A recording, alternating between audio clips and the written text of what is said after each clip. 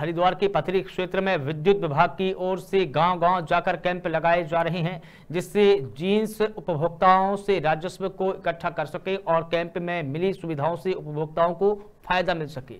पथरी क्षेत्र के फिटर जेई पवन सक्सेना ने कहा कि जिन उपभोक्ताओं के पास ज़्यादा बिल आया है, वह कैंप में जाकर एक से दो किस्तों में अपने बिल को जमा कर सकते हैं, जिससे उन पर ज़्यादा कोई दिक्कत नहीं होगी, लोड भी नहीं आएगा। हरिद्वार से मित्रपाल सिंह की रिपोर्ट।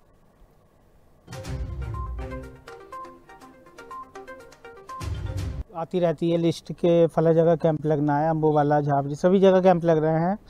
और हमारा प्रयास ये रहता है कि ज़्यादा से ज़्यादा लोग कैंपों के दौरान अपना पैसा जमा करें।